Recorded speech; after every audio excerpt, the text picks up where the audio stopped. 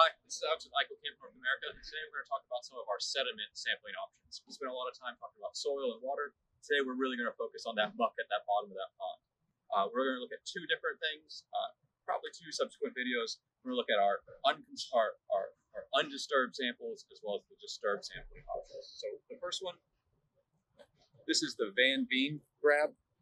This is a very small one. This one's only half a liter but we have a lot of different sizes all the way up to 12 liters, which is very big. But this one's this one's cute, right? Uh, so what it's going to work, you can see here, it's a clamp. You'll typically have this ring on some sort of cord because you're going to drop this from a bridge, a dock, a boat, uh, a lot of boats. You can maybe do it from the side of a stream or something, but you really you, you need to drop it down. You do not want to walk or to, to fall into that water. So you need to be somewhere stable. To use it, uh, it's pretty simple. Your system has a little lock here so you set it while on the surface and you lock it. You're making sure to keep your tension, which is easier to do with your cord, and it'll stay that way.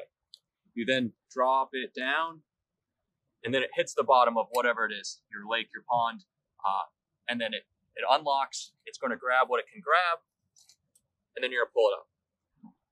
You can see, grab some grass. So this is not a grass sampler. We're going to we're going to want to sample that sediment, but uh, if you have a really unconsolidated or really liquidy, you're going to lose some of that. So this is for when you're trying to get grab samples or really looking at that sediment at that top layer. When you need to go deeper or you need to look at the profile, that's where we get into the, the multi-sampler, uh, which has a little bit more options, uh, but a little slower, and they, they, each have pros and cons. But yes, we, we have a lot of different sizes of Veen, depending on what you're trying to do. The larger size uh, weigh a little bit more. You're not really going to do them by hand. That's where you're going to need to use something like a tripod or some sort of rig to actually lower it down, which those sets do come with.